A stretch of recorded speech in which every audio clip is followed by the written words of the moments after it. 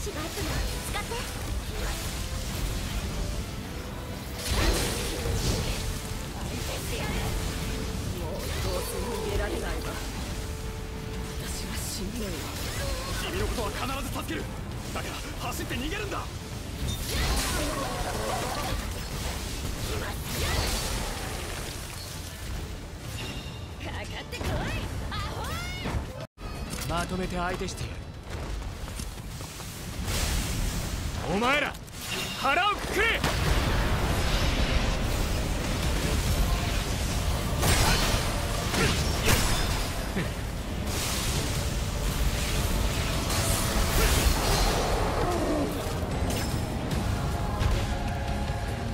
巨人のところに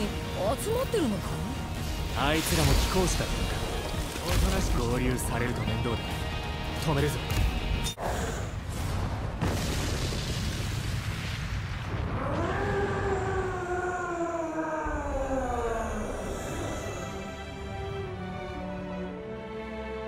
巨人に助けてもらうだと